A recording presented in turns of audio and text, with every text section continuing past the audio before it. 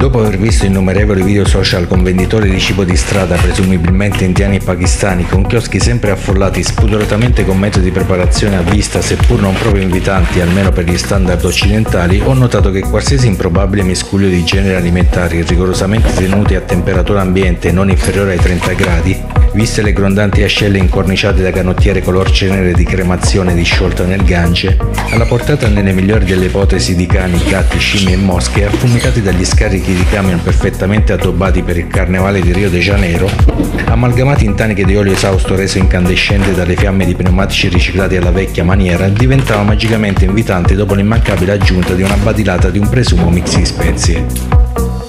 Pensato che questo fosse il segreto per rendere gustoso qualsiasi cibo.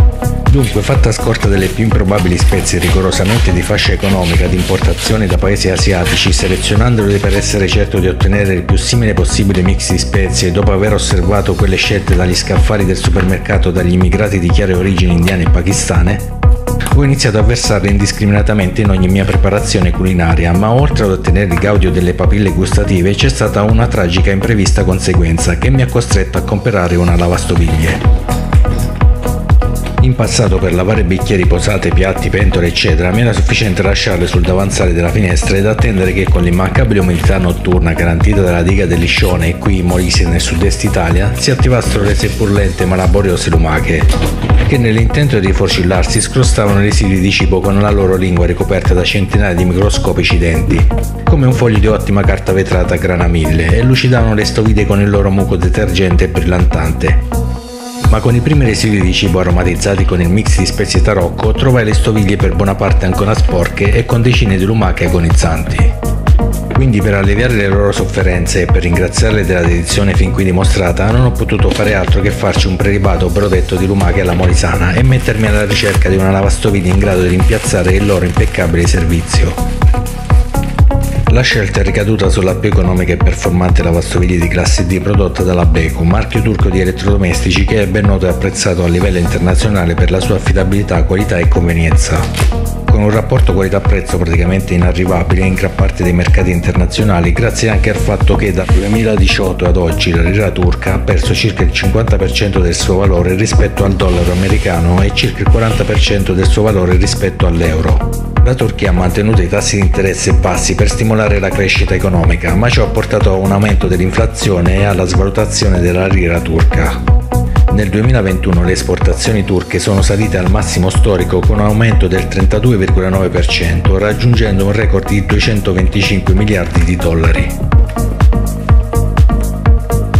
Noi italiani ne conosciamo bene gli effetti, visto che negli anni 90 anche la lira italiana ebbe una forte svalutazione, ma ora che siamo nell'eurozona ci conviene approfittare delle svalutazioni altrui, sempre che la merce sia di comprovata qualità. Naturalmente il trasporto, l'installazione e lo smaltimento sono direttamente valutati in euro e essendo in questo caso eseguiti in Italia e non avendo trovato alcuno disposto a fare il lavoro in cambio di una sacchetta di lire turche, con un semplice carrellino, qualche utensile e un po' di tempo libero ho provveduto con del fai da te, sempre a costo zero a prescindere dalla valuta usata.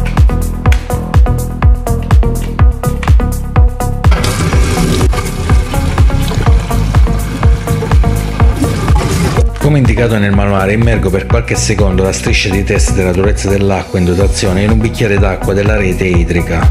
Dopo circa un minuto il numero dei riquadri dei 5 presenti sulla striscia che cambieranno colore determinerà il settaggio da impostare sulla vite di regolazione presente sul lato sinistro della vasca e nella voce dedicata nel menu delle impostazioni nel pannello di controllo.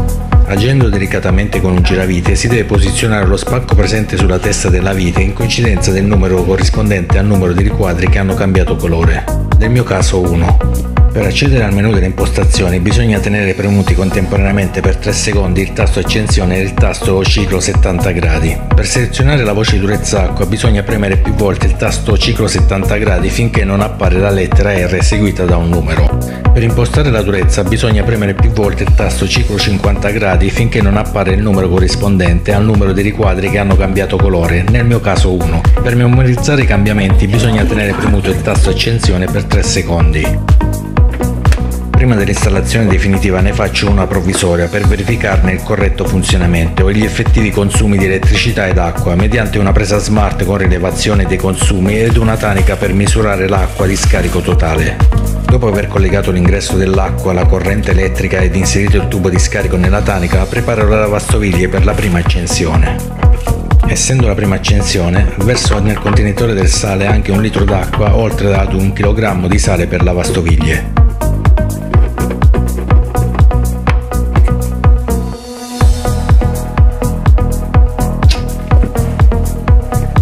Verso il brillantante nel contenitore dedicato.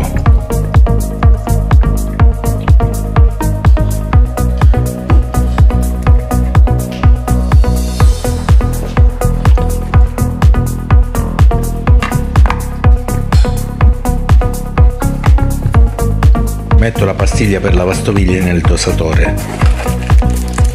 Tutti i prodotti usati sono di marca W5 venduti da Lidl.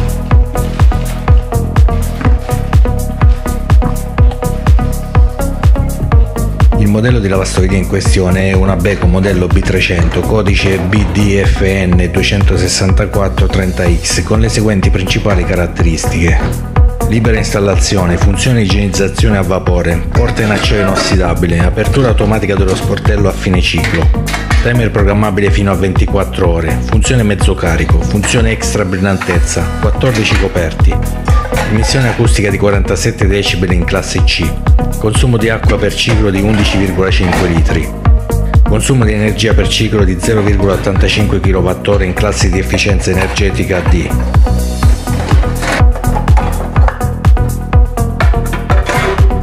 Accatasto nella lavastoviglie parte dei piatti, bicchieri, pentole, cucchiai, forchette, coltelli, ciotole, tazze e boccali accumulati durante l'attesa di circa una settimana per la spedizione, incrostati da ammuffiti perfetti per testare l'efficacia della lavastoviglie.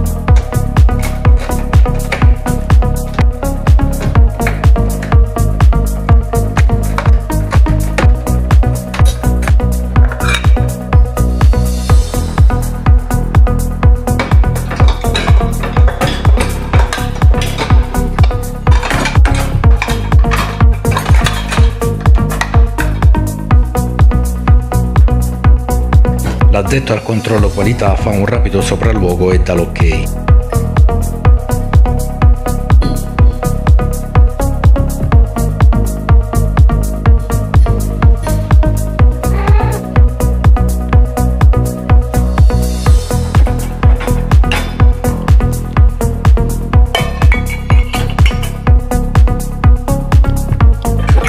Avvio il ciclo di lavaggio eco 50 gradi della durata di circa 3 ore. Dal rumore che inizia a sentirsi direi che la lavastoviglie funziona ed è iniziato il ciclo di lavaggio impostato.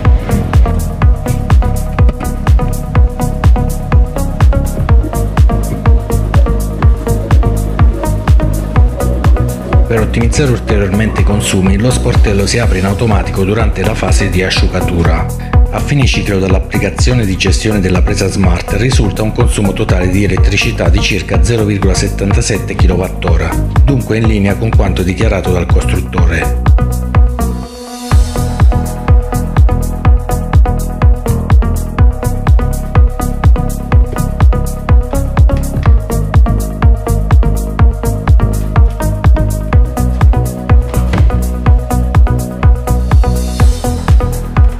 Tutta l'acqua di scarico del ciclo, compresa quella residua turca del collaudo, considerando il peso di circa 1,2 kg del bidone, ammonta ad un consumo di 11,5 kg equivalenti a circa 11,5 litri, non considerando i residui ed il detersivo disciolti, dunque in linea con quello dichiarato. Volendo, se si è usato un detersivo biodegradabile ecologico, si può riutilizzare l'acqua di scarico per altri scopi, come ad esempio per irrigazione. Svuoto la lavastoviglie e verifico il grado di pulizia raggiunto dalle varie stoviglie, che in generale mi sembra buono, tranne qualche posata e padella che erano pesantemente incrostate, ma ognuno può farsi una propria idea dalle immagini dettagliate del video.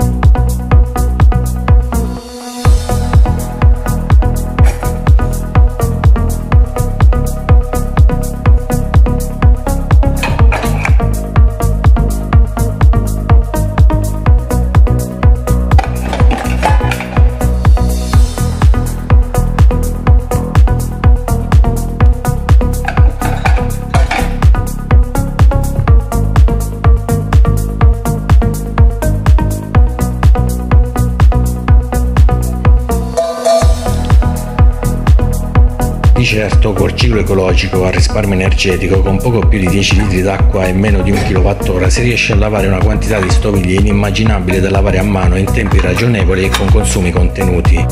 Visti 10 litri al minuto in medio erogati dalla rete idrica e gli eventuali costi per scaldare a corrente o da gas una tale portata d'acqua.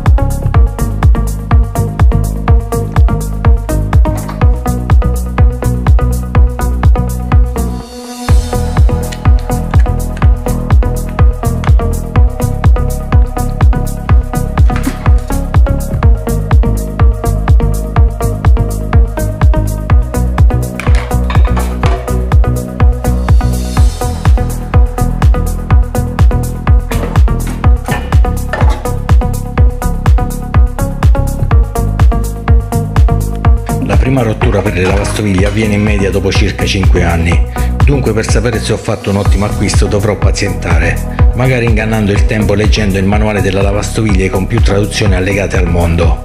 Forse la Beko vuole insidiare il primato di libro più tradotto detenuto dalla Bibbia?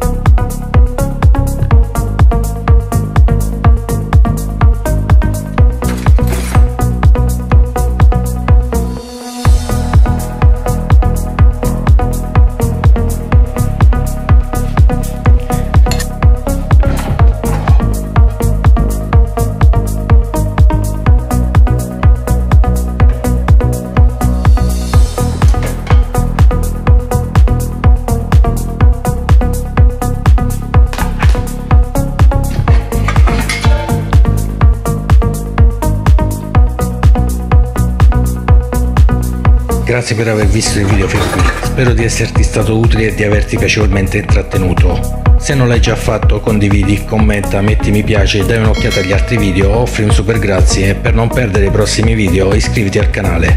Grazie per il supporto, ciao ciao!